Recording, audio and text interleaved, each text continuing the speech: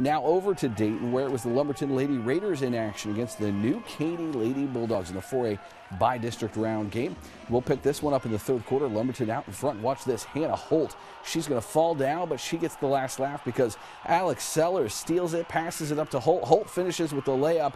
The Lady Raiders up by five. Just over a minute to go in the quarter. Allison Jacks lines up for three. It's no good, but Brandy De La Rosa's there. She's got her back, and Lumberton up by four. Later, Head coach Ricky Jacks tells Taylor Powell, shoot it if you're open, and she listens, and it pays off. Bam for three. The Lady Raiders win at 64 50. They're going to advance to face Georgetown in the 4A area round.